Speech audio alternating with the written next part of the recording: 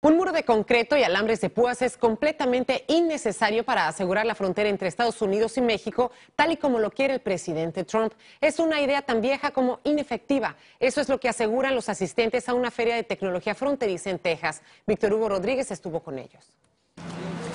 La seguridad fronteriza es sin duda un negocio multimillonario.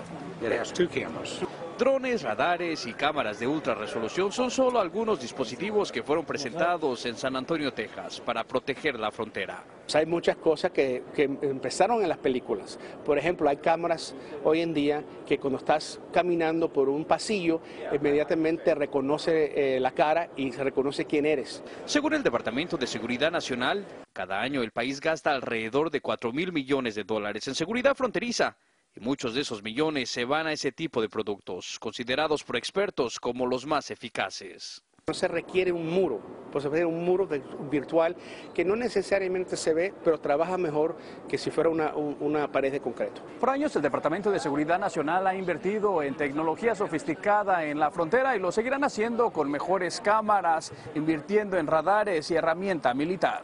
A esta feria comercial de seguridad fronteriza acudieron empleados del gobierno y políticos. Sin embargo, hay quienes consideran que aún con esta tecnología, con el muro y los más de 5.000 agentes que quiera agregar el presidente Trump a la frontera, solo conseguirá que el inmigrante o el narcotraficante cambie de ruta. Se está pasando por un lado, tienen que buscar una manera que entre a los Estados Unidos. Esta feria se llevó a cabo a solo semanas de que el gobierno reconociera que se redujo el número de detenciones de indocumentados en la frontera. Pero el lucrativo negocio de la seguridad fronteriza es imparable, en su afán de venderle al gobierno nuevas herramientas para evitar que más gente consiga pisar suelo americano. Víctor Hugo Rodríguez, Noticias Telemundo. Latinos en Estados Unidos que podrían votar este próximo 8 de noviembre, no todos vamos a salir a votar, van a salir a votar. ¿Por qué? ¿Por qué? ¿Qué le dirías a, a nuestra gente? Bueno, yo creo que eso es precisamente una de las